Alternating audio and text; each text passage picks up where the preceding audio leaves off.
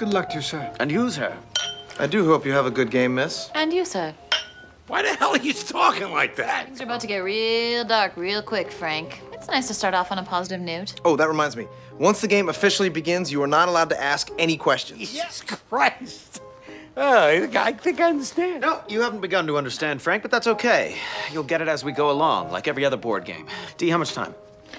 Uh, 10 seconds. Ah, perfect. Okay. Gentlemen, suck my dick.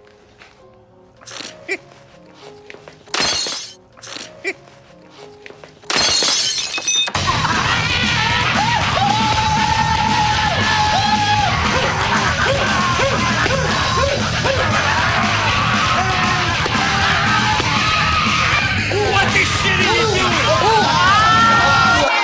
God damn it, Frank. You asked the question. God damn it.